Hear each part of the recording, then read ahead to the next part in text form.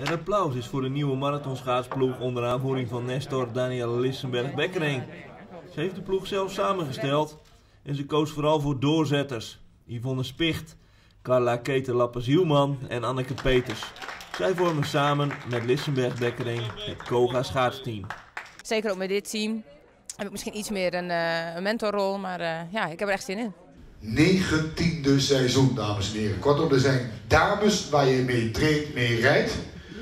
Die moest, zeg maar, laat ik het even netjes zeggen, die zaten nog op de kleuterschool toen jij al uh, wedstrijden won. Als mijn lijf een beetje meewerkt, dan, dan kan het nog 1, 2, heel misschien 3 jaar. Maar ik bekijk het gewoon per jaar en ik vind het nu nog heel leuk en ik denk nu nog niet aan stoppen. Nou, af en toe is dat ook wel grappig als we het dan hebben over vroeger. En dan uh, zegt er een eentje van, uh, oh, toen was ik zes. En dan denk ik, ja, oei.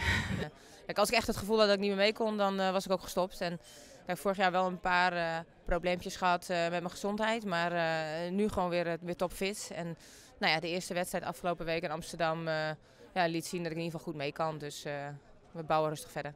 Lambert Huytema is de ploegleider.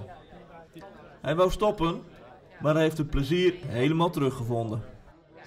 Ja, je moet altijd uh, iets te hoog inzetten. Bijvoorbeeld uh, meiden, morgen gaan we 200 kilometer fietsen. Dan staan ze natuurlijk op de achtste poot, dan heb je gauw en donder. En dan uh, zeg je oké, okay, dan gaan we 80. En dan zijn ze hartstikke blij.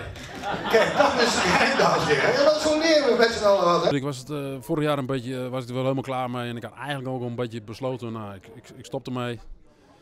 En uh, ja, op een gegeven moment uh, werd ik gebeld door Daniel. En nou, dan heb ik de knoop doorgehaakt. Ik ga het een jaartje doen. En nou, tot nu toe heb ik er absoluut geen spijt van. De kracht van het Koga-team komt normaal gesproken vooral naar voren op natuurreis. Uh, die ervaring hebben we wel en uh, we zijn allemaal nog steeds daar uh, enorm gemotiveerd voor. En ik denk zeker dat we op natuurreis ja, wel mee kunnen doen. Ik, ik, weet zelf wel dat we voor, echt voor de 200 gaan we door ijs en voor de, de 100 ONK dat zijn denk ik onze grootste speerpunten. En natuurlijk hopen we natuurlijk dat de, de, de enige echte Elfstedentocht komt in Nederland. 19 februari hoor ik steeds. Ja, dan hebben we gewoon drie kanshebbers in de ploeg.